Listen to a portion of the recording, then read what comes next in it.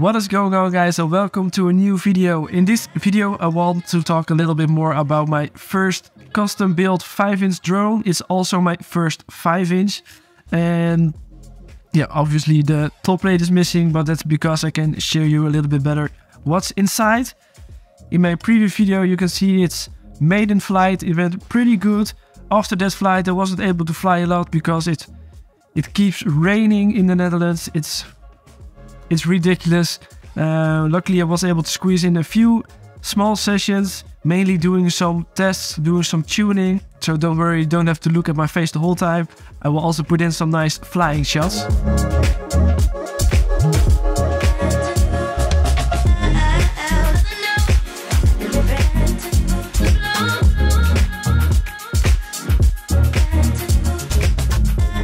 And before I get, forget, please bear in mind that I'm also still a newbie and most of the parts I got was just because people said had to choose these or I read some good reviews about them. So let's start with the frame I chose and why I chose it. I went for the Armattan Badger DJI edition. The reason I chose this frame is because it's easy to get uh, where I live um, which I like because if I crash it or have to or I need some spare parts, I can just uh, order it and have it delivered the next day. Of course, the frame is actually designed for the previous air unit, which is a little bit bigger, so it would fit. And also the description stated that the props or the frame wouldn't be in view. Of course, that's with the previous air unit. So I had to come up with something to make it work with a little bit bigger camera from the O3 unit. But I was seeing some people online who were able to modify the, the camera cage a bit so there wouldn't be any uh, standoffs or props in view. And I really wanted this because I'm planning not to fly this with a GoPro anytime soon. So I want to use the footage straight from the O3 and I personally don't really like to have these uh, rotating things in the in the frame and I also don't like the look of these shiny bars on the side of the camera.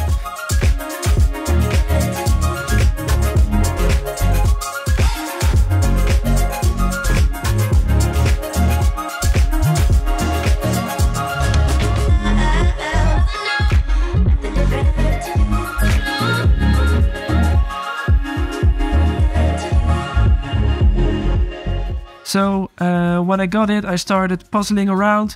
And when I built the frame as it was intended, I found out that it wasn't able to fit the O3 unit inside, uh, or at least the, the camera, because these um, uh, the room between these two standoffs is was too small. And then I found that if I switch these two standoffs or, or parts, that as you can see, it it goes wider and when when you uh, mount it as is intended, let me switch it, then it goes narrower. But when you do it like this, it goes wider. And then I was able to fit the camera right inside. So um, plenty of room, still maintaining the protection when you have uh, impact from the front. Of course, I had to fill up the extra room with a spacer. I just used two bolts uh, which works fine. If you're also planning to do this, don't forget to use a little bit longer screw so um, it, it keeps its uh, strength. I was really happy that I was able to make it work like this.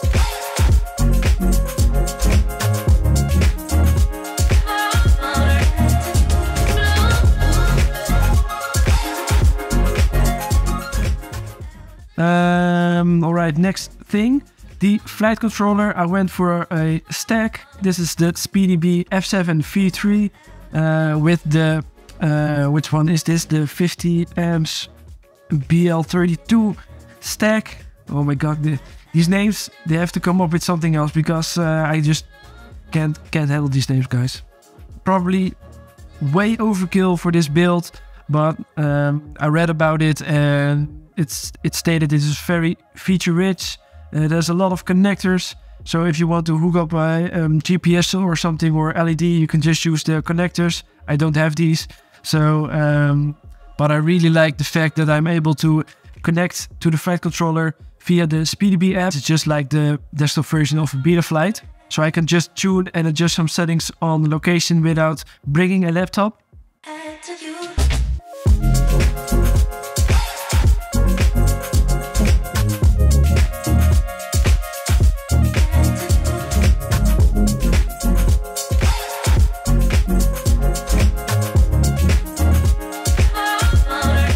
You can see, it is, uh, has a nice uh, glazed finish. That's because I applied conformal coating to it. Um, like I said, I live in the Netherlands. It rains a lot, so there's always some water somewhere, uh, a puddle, wet grass, mud, uh, you name it. So it's very likely that when it crashes, um, it will be a little bit moist. So uh, I applied conformal coating so it won't fry that easily.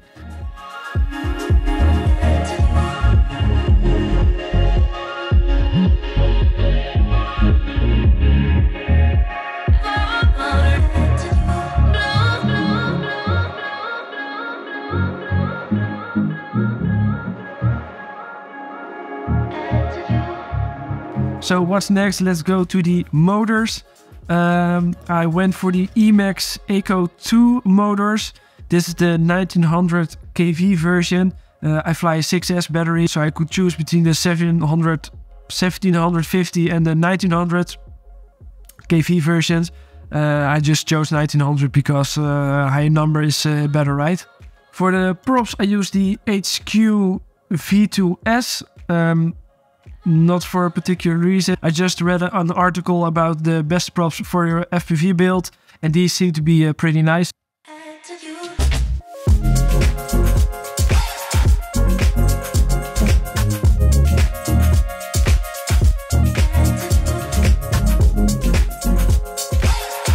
When I crash the drone, I like to use a beeper, so I installed a beeper inside. This is the ViFly um, Finder Mini it's um, it is an active beeper, so when I crash it, or when I crash the drone and the battery pops off or it goes empty, the beeper still keeps uh, beeping with an interval because it has a little battery uh, inside, and it will keep beeping for a few hours after uh, after disconnecting the battery. Uh, which is very nice and handy. It also has a nice uh, LED inside. So I think that's it for the build and the parts I used. Hopefully we can fly this thing soon again. The weather gets a little bit warmer and I can finally start ripping it. So for now, thanks for watching and I hope to see you in the next one.